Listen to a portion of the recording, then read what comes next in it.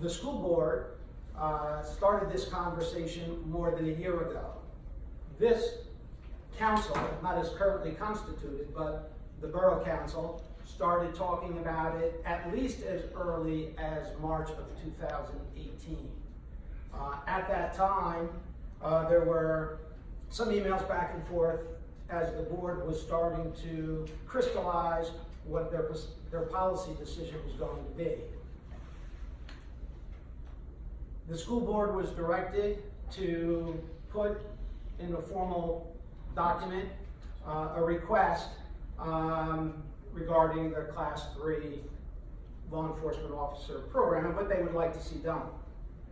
By a letter sent to the mayor and copied to the council members at the time dated April 4th of 2018, Dr. LaSusa, the superintendent of schools, indicated that the school board was looking for a class three special officer in each of the six schools in the district.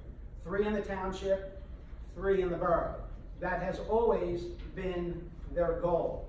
And originally their goal was in fact to have the township and the borough pick up the cost. At that time, both the borough and the township indicated that that was not in the cards in terms of the money available in the budget at the time. The school board then, and the reason I know all this is because I've attended, I've seen Mr. Heap at those school board meetings, and Dr. Clyde has been there as well. Uh, so I know that this discussion was taking place in public, uh, and that it was at more than one meeting. Those meetings are recorded and televised, just like our meetings are.